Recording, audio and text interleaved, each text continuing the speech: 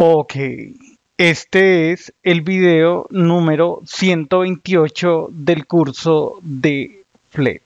Seguimos adelante. Vale.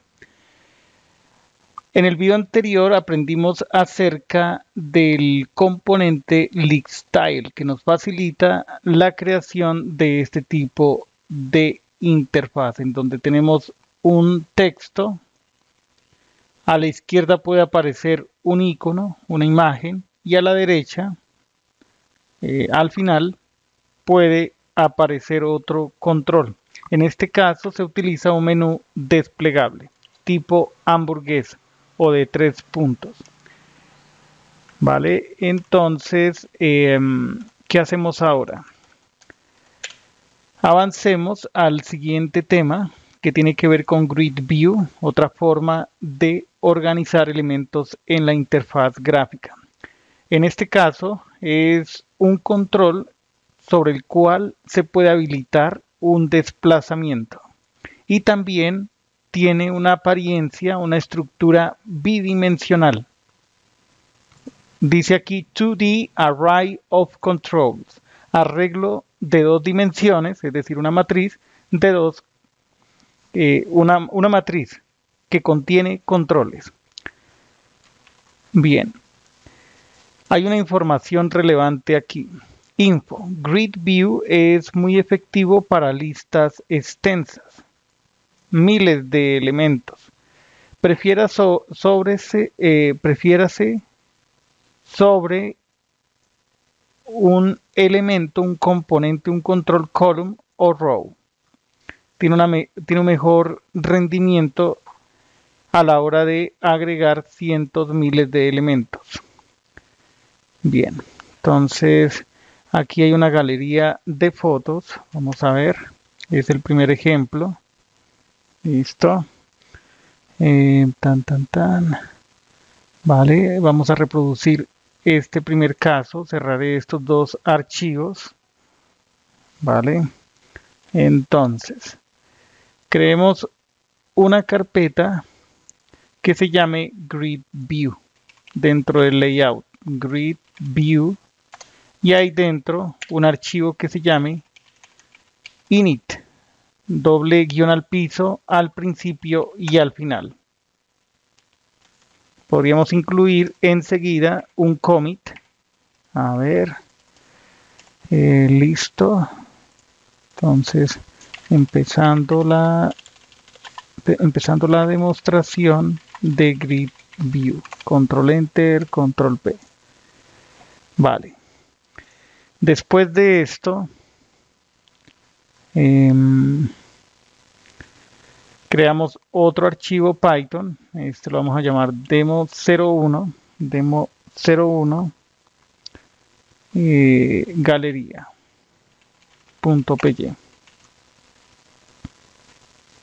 Como siempre decimos aquí import flet as flt. Y desde flet importamos, ahí podríamos decir todo.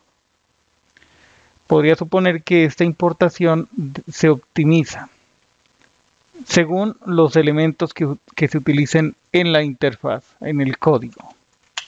Entonces, lo primero que haremos es crear una función que reciba un parámetro de tipo page.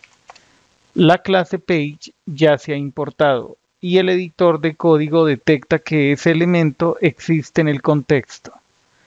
A esa página le colocaremos un título, puede ser galería con grid view. El tema page.tem tem mode mode y ahí se utiliza tenmode.dark dark todo en mayúscula. El padding, el padding que sea de 50 unidades. Recordemos que el padding es el margen eh, interno. Y actualizamos la página. Para ello utilizamos update. Para incorporar las imágenes tendremos un grid view. Grid view, las iniciales, digamos galería. creamos el objeto grid view y parametrizamos de la siguiente manera, que se expanda, escribimos 1, yo creo que también se podría escribir true, ya que 1 es el padre de true. Runs, runs eh, count, quedó mal escrito, igual a 5. Max extend, max extend 150. Em, luego sigue child aspect aspect ratio. Vaya. Child aspect ratio igual a 1.0 el spacing igual a 5 y el run spacing igual a 5 esa sería toda la parametrización para el objeto grid view y esa galería la agregamos a la página. Creemos varios elementos. Aquí le podríamos decir que cree, por ejemplo, digamos, mil. Ok. Y como tenemos una galería, podemos decir eh, GW, GW, GV, guion al piso galería.controls estaba perdiendo la habilidad de decir esa palabra, esa letra. Listo, entonces la fuente, aquí vendría un parámetro, veo que, bueno, se dejan de 150 por 150, esas serían las dimensiones. Y luego vendría un parámetro que sería i, que va desde 1 hasta 1000. Por eso coloco 1001, ya que el rango por la derecha en el límite superior no es inclusivo, es exclusivo. Listo, el siguiente parámetro es fit. Entonces, image fit none. Eh, a ver, repeat. A repeat le, le, decimos image repeat, no repeat. Y el border radius, a ver si aquí lo reconoce, border radius decimos border radius punto all con el argumento igual a 10 finalmente decimos page update. Por fuera de ese método main comprobamos que este es el archivo que se pasa como argumento al comando python desde la línea de comandos. Vale entonces eh, decimos aquí flt.app target main. Este título no va aquí. Listo. View y escribimos flt.webbrowser web browser sí. listo. Ok entonces abrimos aquí el editor.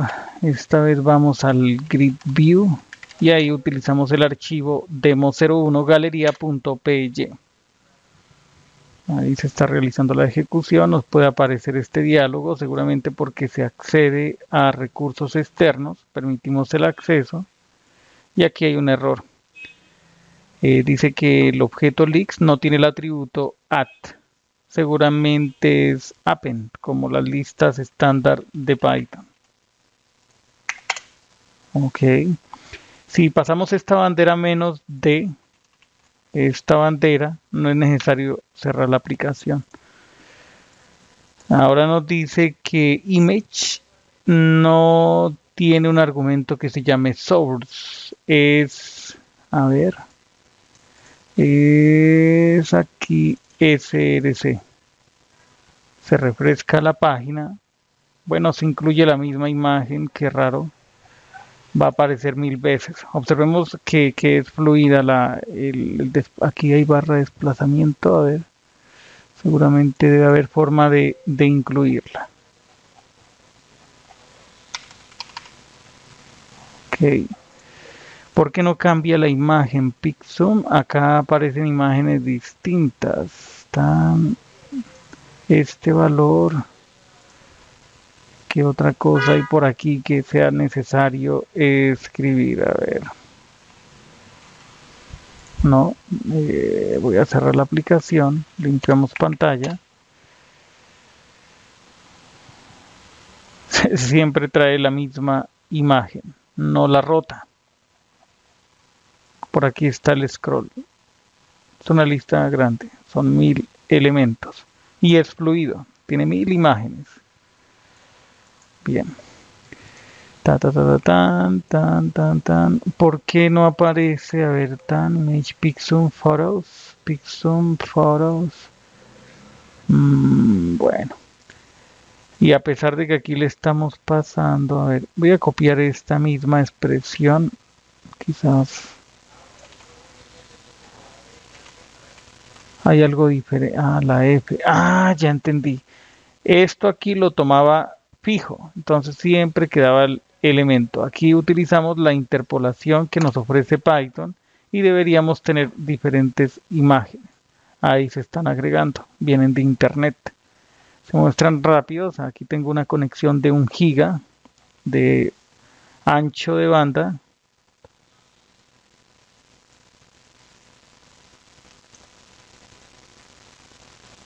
Listo. Ya está. Un commit que diga Grid View para mostrar una galería de fotografías. Control Enter, Control P. Así es, supremamente práctico. Continuaremos en el siguiente video.